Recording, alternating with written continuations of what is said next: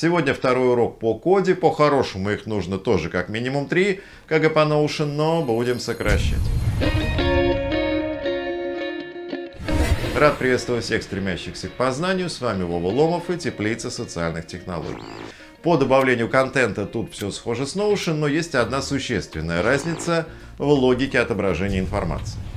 Вот я восстановил примерно главную страницу с общей информацией и содержанием.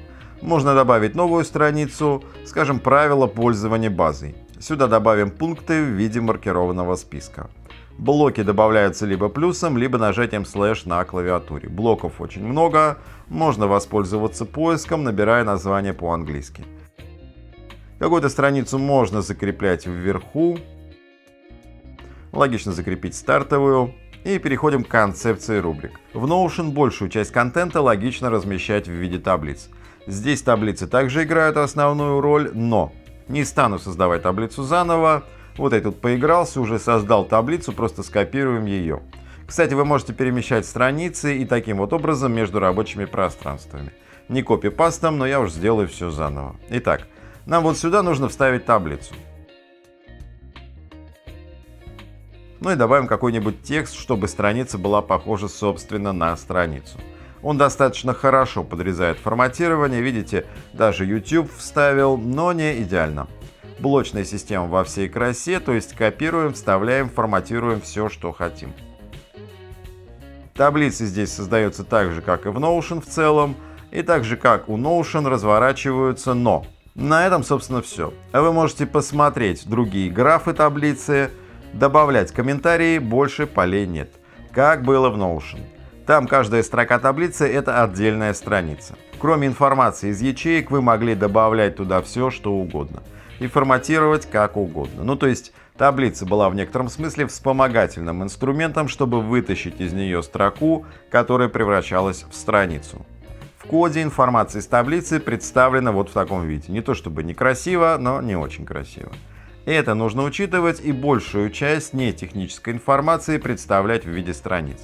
И все-таки таблицы и здесь, конечно, играют огромную роль, и есть весьма полезная по сравнению с Notion функция представления таблицы. По таблицам достаточно много настроек. Вот так вы скрываете или показываете какие-то графы. Но показать я хотел другое. Копируем таблицу. Ctrl-C. Вставляем таблицу. Ctrl-V. А вот он тут что-то пишет про то, что вы вставили один view. Не будем пока заострять внимание на этой плашке, а посмотрим на таблицу.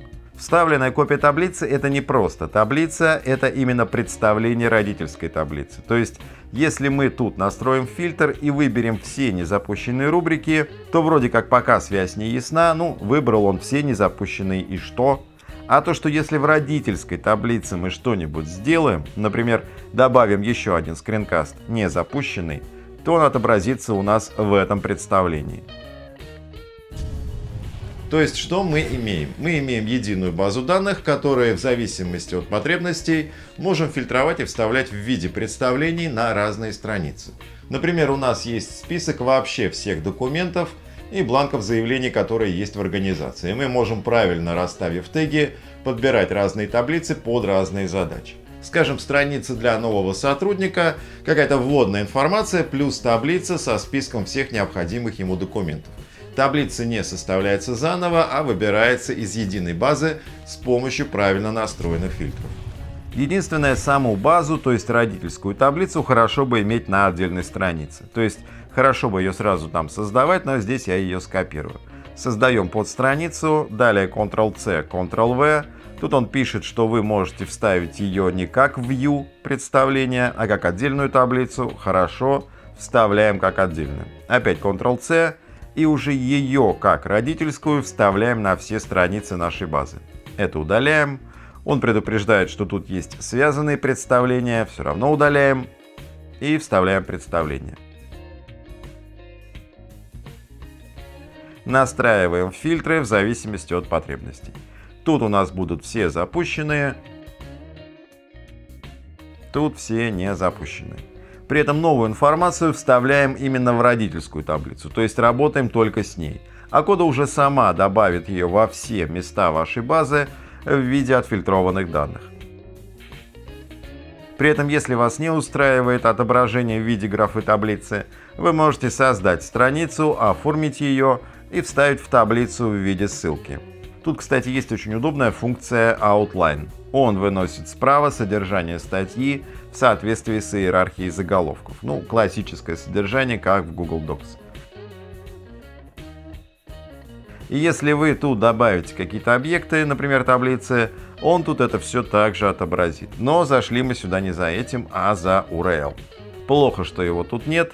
Кстати, чтобы не было хаоса, создавайте здесь страницы и подстраницы. Ну, раз нет URL здесь, его можно взять в адресной строке. И вставляем в таблицу отдельной графой под названием URL. Только это надо преобразовать в линк. Ага, подхватил название в качестве якоря, молодец, все. Вот такая у нас теперь будет запись в таблице с переходом на нужную страницу. Таким образом вы можете систематизировать данные, устраивать внутреннюю перелинковку. Собственно, таким образом вы базу знаний и создаете. Не рассказал, я думаю, десятой части того, что есть в коде, но по ней, как и по Notion, нужен отдельный онлайн-курс, и может быть со временем я его сделаю.